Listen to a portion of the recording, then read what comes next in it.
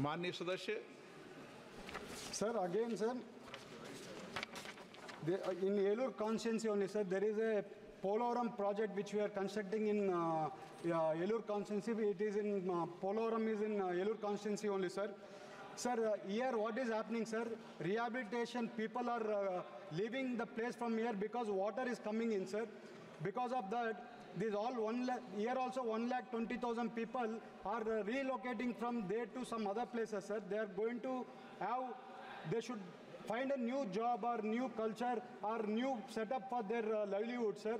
Even if you are able to set up this uh, incubation even in the Polavaram area also, this will help them to get jobs, especially for youth sector, sir. If you consider that also, it will be helpful for us, sir. That is our major request in Polavaram also, sir. This is my request, sir.